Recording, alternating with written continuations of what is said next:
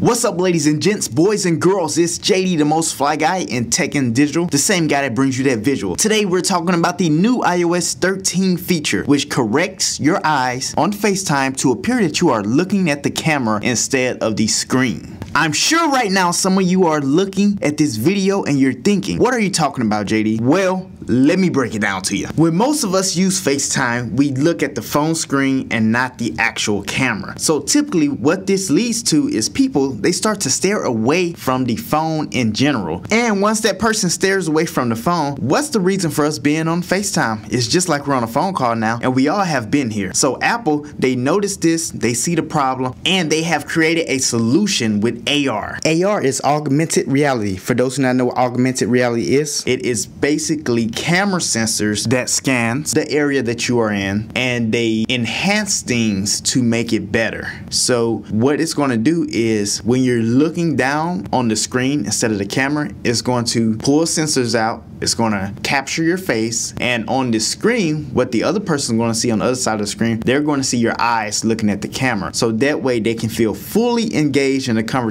and people won't start to stare away from FaceTime and not even use the FaceTime so Apple is doing this to solve that problem of people staring away from FaceTime and bring them back to the phone so they can use FaceTime properly so for us tech and communication geeks we are ecstatic about this upcoming feature because it should keep you you focus on your FaceTime and keep both parties happy with the new AR intention spans. The feature releases on the new iOS 13 update and it is compatible on iPhone, XS, Max, XR, and the new iPhone. Let me know what you think about this feature in the comments. Is it enough to make you buy the new Apple iPhone? Or if not, let me know what phone you would want to buy instead and what feature made you buy that phone. And thanks for watching. I'm JD, the most fly guy in tech and digital. The same guy that brings you that visual. And I have a visual for you right now. So did you know it's a proven fact that generosity makes you a happier person? So if you're generous enough, I'd appreciate if you hit that subscribe button and notification bell so you can stay updated on my weekly videos. Also, check me out and follow me on social networks so we can engage in friendly dialogue. This is Tech for the People, and I'm out.